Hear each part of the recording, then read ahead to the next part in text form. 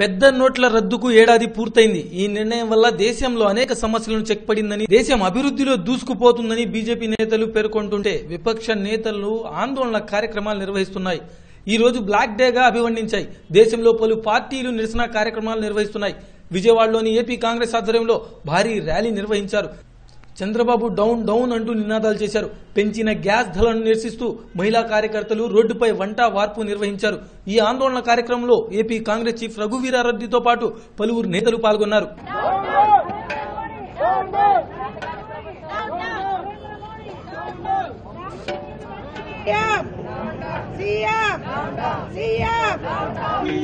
చంద్రబాబు చంద్రబాబు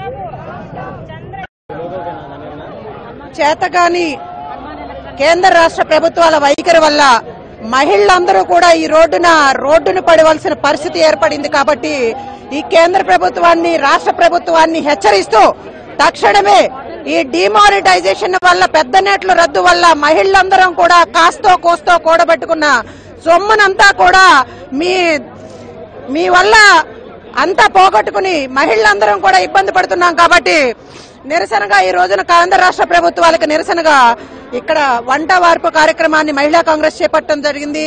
తక్షణమే కేంద్ర రాష్ట్ర ప్రభుత్వాలు మహిళలకి మహిళా సాధికారత కోసం చిత్తశుద్దితో నిత్యావసర ధరలను తగ్గించాలి గ్యాస్ ధరలను వెంటనే తగ్గించాలి. ముఖ్యమంత్రి చంద్ర చంద్రబాబు నాయుడు గారు ఈ గ్యాస్ భారాన్ని రాష్ట్ర ప్రభుత్వమే భరాయించాలి అని చెప్పి కూడా డిమాండ్ చేస్తున్నాం.